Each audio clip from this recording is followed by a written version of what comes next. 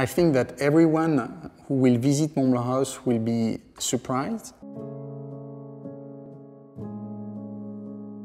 What? Montblanc is in Hamburg? And the location was a pretty easy decision because the founders, uh, three entrepreneurs, decided to build up a startup in Hamburg. So yes, it's in Hamburg.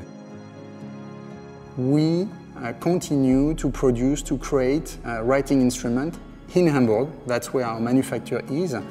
And it was obvious that if we do a Montblanc Haus, it has to be connected to the manufacturer. The place where many elements are, are coming together. It's not only about looking how the pens are being done, it's many more things. It's an experience. And it's an experience which is, number one, completely unique. And every time you come back, you discover something new, a unique place uh, in the world.